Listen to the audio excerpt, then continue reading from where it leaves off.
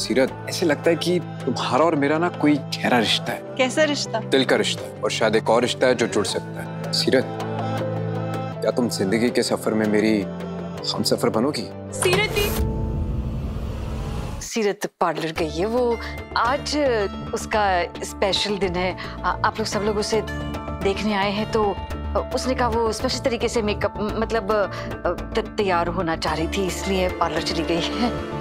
ये तो कोई एक्सक्यूज नहीं हुआ घर आए मेहमानों को इंतज़ार करवाने का। ये सब उसे पहले सोच लेना चाहिए था। एक्चुअली मेरी बड़ी भांजी को ना बचपन से ही सजने संवरने का बड़ा शौक है। एक्सक्यूज मी आपने अभी क्या कहा? आपकी बड़ी भांजी? हाँ सीरत मेरी सबसे बड़ी भांजी है।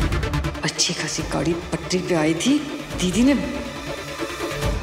आपने तो कहा था सीरत आपकी इकलौती बेटी है।